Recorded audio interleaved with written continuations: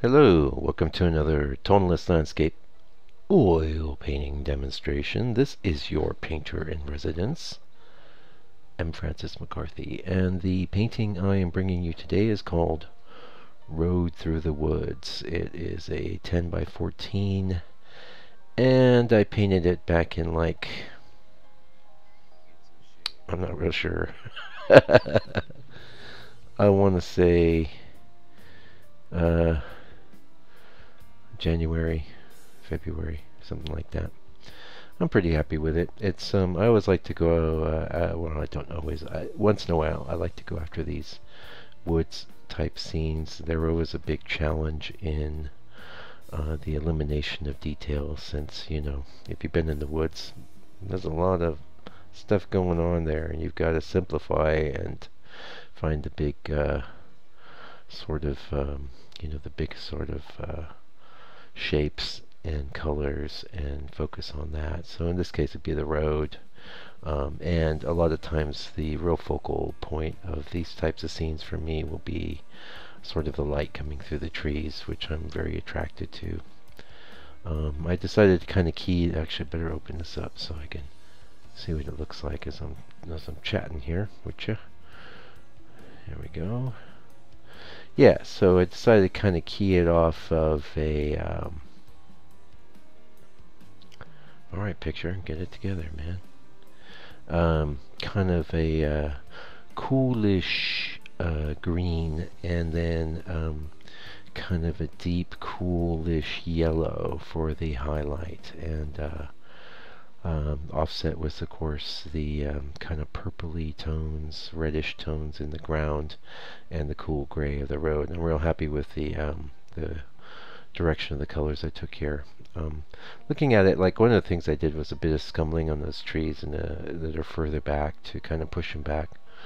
Uh, and I kind of kind of wonder if I could have gone a little further with that, but I'm happy with it. And you know, the thing is, you got to keep moving forward. And uh, oh, this reminds me, it's that time of the video where I ask you if you like my channel, you like what I'm doing here, if you could uh, smash that like button and leave a comment. It's not you know, it's it's not really an either or. You you can like it and leave a comment. Comments they don't need to be extensive. You could just be a nice vid Mike or uh, appreciate the vid Mike or I don't know whatever. you could just hey emojis are fine too. Um, the thing is like uh, YouTube really digs the video interaction. That's what I've uh, been picking up from from people I follow on YouTube. So um, when they see interaction, they'll start putting it in front of fresh eyes, and uh, that's just good for the channel, as far as I'm concerned. Although, you know, small's good too. It's all good. Appreciate you being here. Also, I'll pop this in my store today. Um, it'll have a good fair price on it. It's a nice painting. Um, it's a really nice painting, actually.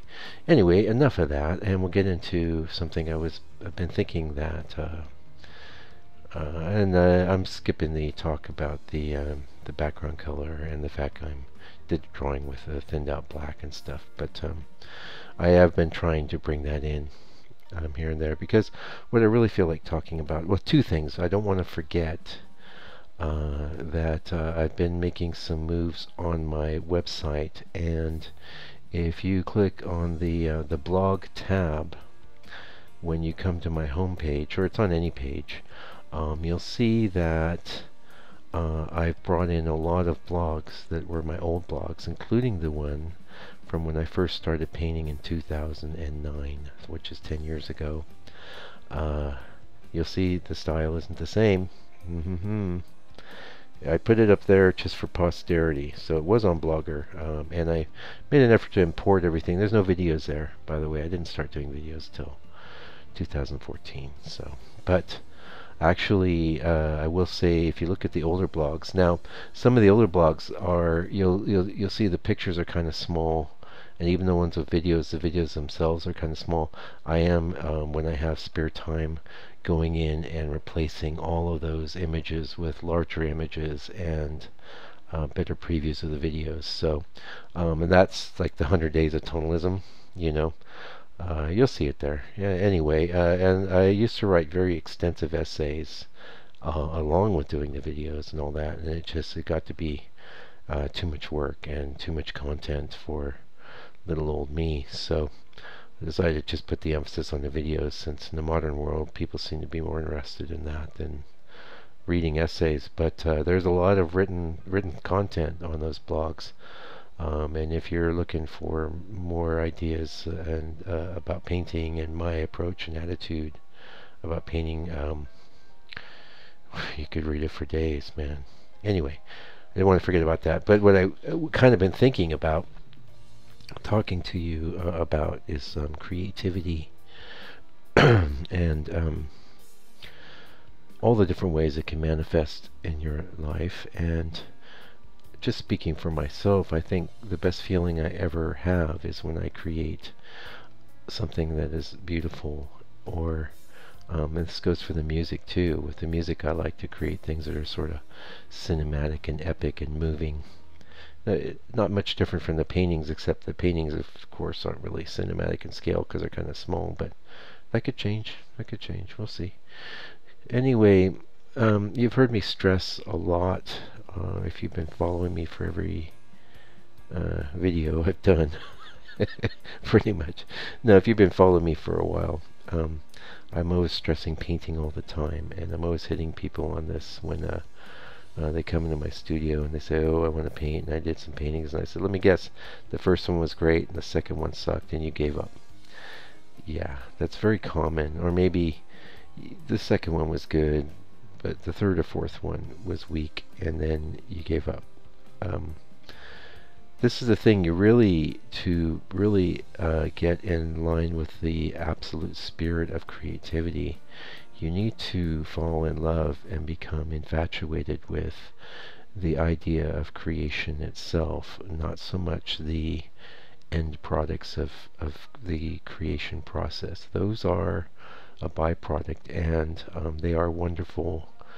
Um, and a, a lot of this is like when you move from somebody who's an appreciator of art and and music um, into somebody who's creating art or music, uh, you still kind of have this idea. You still have this kind of um, love for the the products of of the act of creation, and the actual creation itself can be a bit tedious and oftentimes frustrating because you really don't have the skills to create work that might be in alignment with your um, developed a sense of aesthetics. This is a real problem, and there's only one solution to it, and that is to just work through it and learn to just enjoy creating.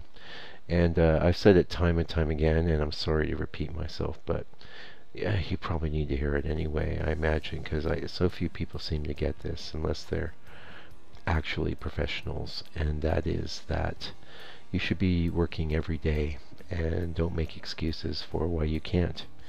Uh, you may have children, you may have a job, uh, no doubt you have all sorts of things to do, but let's be real. You're spending a lot of time with that phone. You're spending a lot of time watching Netflix. You're spending a lot of time playing video games or messing around in a zillion other ways. Um, uh, but what you're not doing is picking up the brush, and that's really what you need to be doing if you want to get good.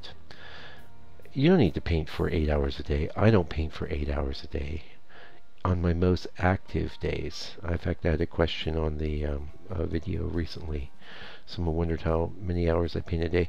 On a super um, productive day, I maybe paint five hours and it's usually far less than that. It might only be three hours.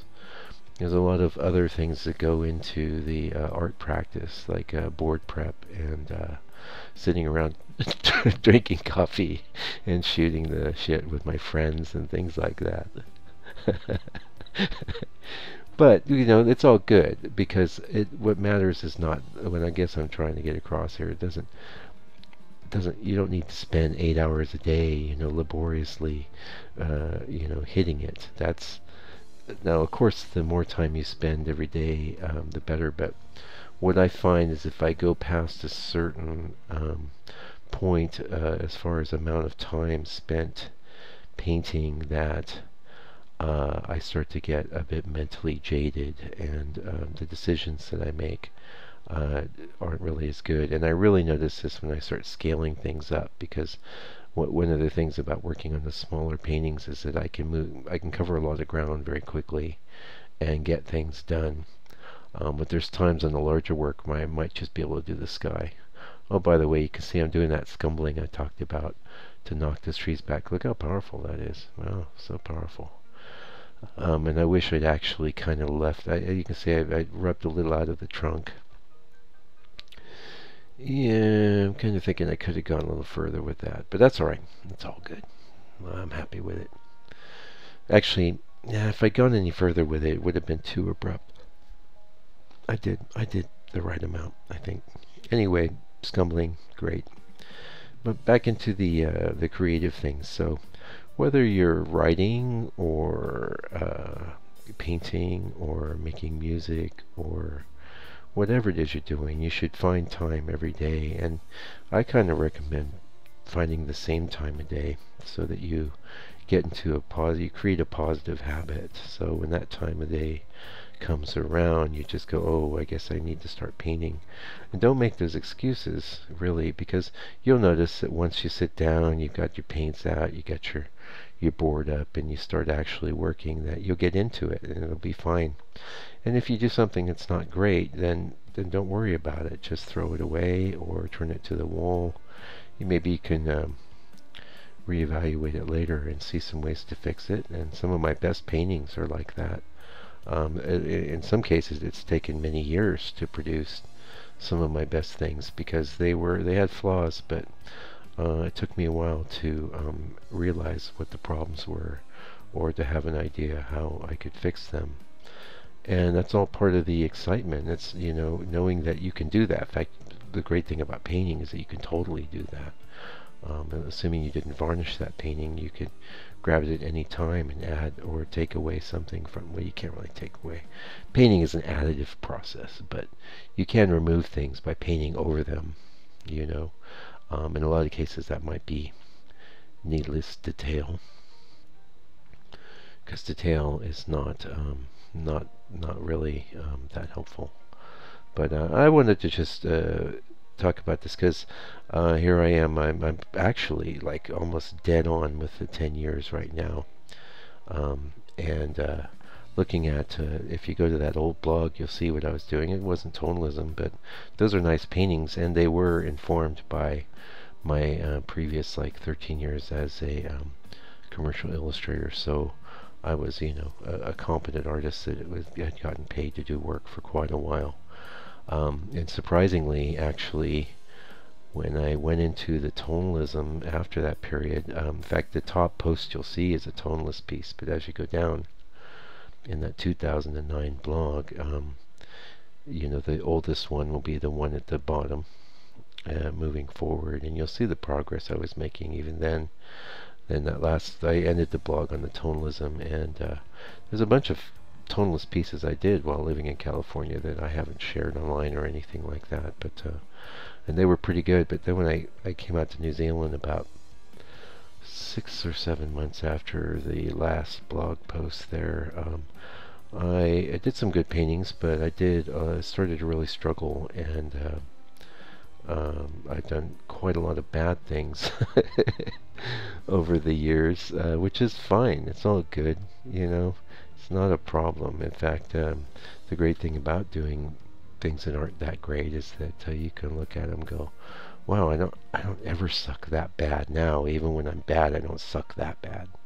So, anyway, thank you for joining me today. Like I said, if you haven't hit that like button, go and smash that. Just use your mouse, use your finger, use a 2x4, whatever you got to do. And I appreciate it. I appreciate you coming around here and listening to me burble. And hopefully uh, you, you dug watching the painting happen. And uh, I'll be back real soon with another video. Oh, by the way, sorry it wasn't a past master. It just wasn't working out. I have a couple in the um, in the can, but we'll, we'll get to them. Anyway, until I see you again, please do me a favor. Take good care of yourself and your family, and stay out of trouble.